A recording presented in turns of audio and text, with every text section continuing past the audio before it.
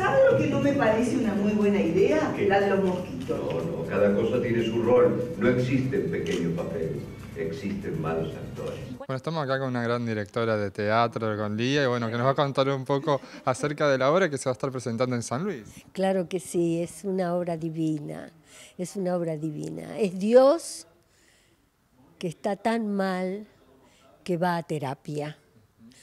Luego le cuesta muchísimo trabajo convencer a la psicóloga de que él no es, no es ni un loco, que puede ser, ni un vagabundo, ni un mitómano que se dice Dios, ¿no?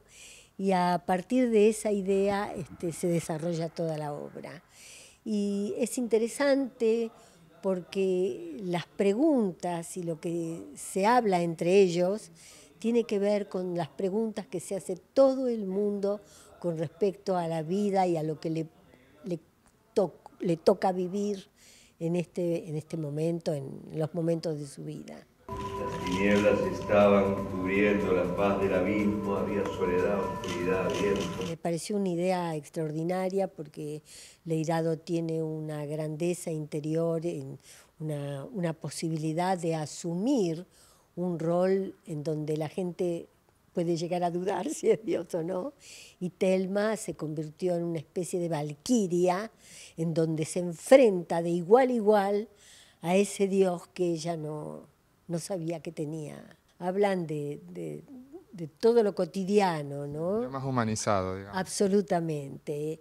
Y bueno, Dios, digamos, el actor que, que dice ser Dios, la persona que dice ser Dios, este, dice que no puede más, que no puede más y que por eso va a terapia. Yo creo que es un cuentito muy profundo, em, emocionalmente rico, que la gente a, a, aplaude y, y, disfruta.